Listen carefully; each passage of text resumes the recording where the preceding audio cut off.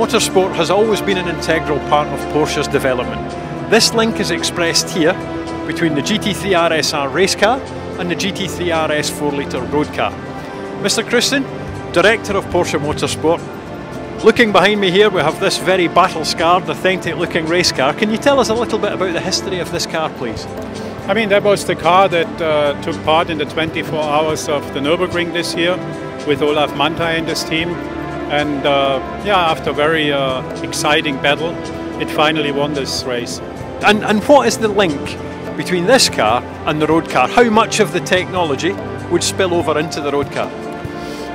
It actually always depends on what exactly you compare, but if you take that specific car here, it's a 2009 uh, model year uh, RSR. If you take, for instance, the engine, uh, we introduced the 4 liter engine in uh, 2008, if I'm right, absolutely. And uh, in, the in the back there, you see the RS 4 liter that now took over this engine. If you look at suspension, the philosophy, how develop, how we develop the performance of the car, it's exactly the same between the RSR and the GT3 RS street car the aerodynamics, the exact philosophy, what the driver should get as response when he drives the car. I mean, there are necessary changes that you need to have a very competitive race car versus a highly competitive road car that you can beautifully use for, for track days. But the idea behind it, what you get as feedback and how you drive these cars, that's very close. So, so it must be very important for a manufacturer then to, to utilise that development in motorsport and then roll it into the road cars. Is that the case? Absolutely. These cars can develop something like 540, 550 horsepower if you don't run them with an air restrictor.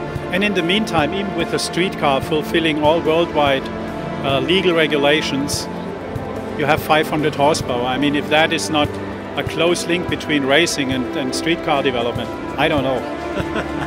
and what's the future of motorsport with Porsche then? We've seen cars like the GT3R Hybrid coming into the race car scene. What, what do you see as the future for Porsche Motorsport?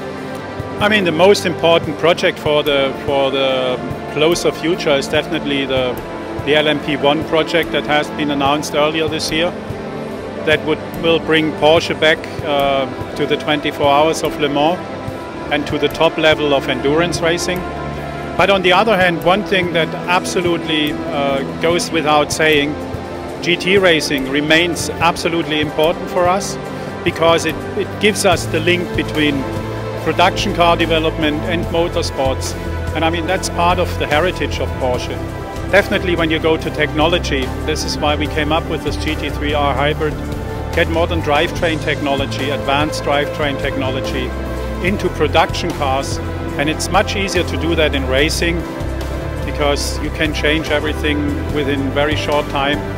But first you have to understand how you have to perform with a new system like that, that it makes sense to integrate it, uh, integrate it into, uh, into a car like a 911.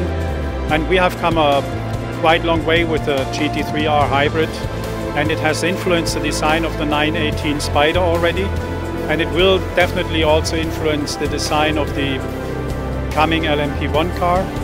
And from there it will find its way into the standard production cars. Well, Mr. Kristen, it all sounds very exciting.